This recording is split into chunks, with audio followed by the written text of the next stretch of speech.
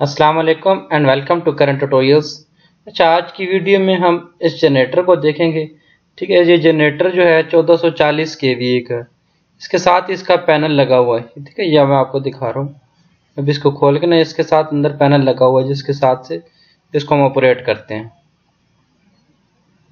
इसकी सारी डिटेल्स इसकी नंबर प्लेट के ऊपर लिखी होती है। ठीक है नेम प्लेट के ऊपर इसके एम्पेयर्स और आरपीएम फ्रिक्वेंसी सारा कुछ लिखा होता है। तो आज की वीडियो में मैंने आपको इसके टैंक दिखाने हैं। ठीक है, ये देखें, फायर वालों का सिस्टम लगा हुआ है। ये दो जनरेटर लगे हुए हैं। ठीक है, ये सामने इसका एक का ये टैंक लगा हुआ है।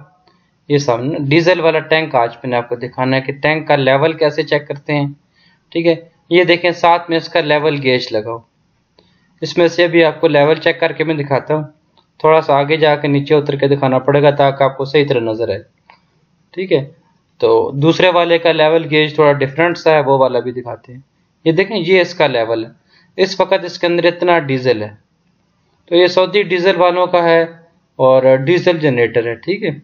और नेम प्लेट अभी आपको मैंने इसकी दिखा दी, इसके ऊपर सारा कुछ लिखा हो अब ये दूसरे वाली साइड पे मैं आपको जो है ना, दूसरा टैंक जो है, ये यहाँ पे देखें, इसके ऊपर दूसरा गेज लगा हुआ, ऊपर एक मिनट, थोड़ा सा ऊपर जाके दिखाना पड़ेगा, ठीक है?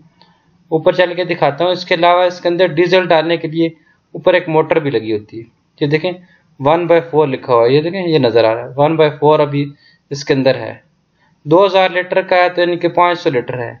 ये देखें, इसके ऊपर एक मोटर लगी हुई है। इस मोटर की मदद से ये जो है ना, डीजल सक करता है।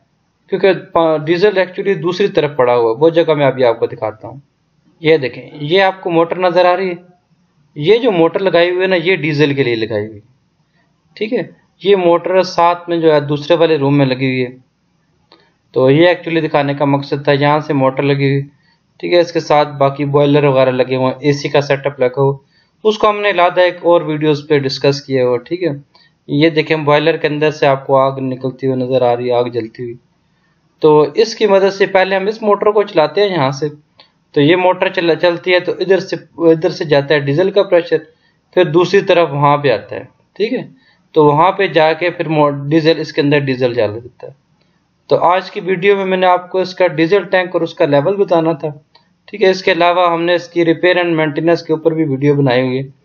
तो वो भी आप देख सकते हैं। आप इस तरह करें करंट ट्यूटोरियल्स के अंदर जाके प्ले के अंदर जाएँगे ना तो प्ले के अंदर से आपको इलेक्ट्रिकल मशीन्स की वाली एक प्ले प्ले मिलेगी, जिसमें सारा कुछ मिलेगा। आप करंट ट्यूटोरियल्स को सब्सक्राइब कीजिए, इंशाल्लाह फिर मुलाकात होती है। अल्लाह हाफिज़।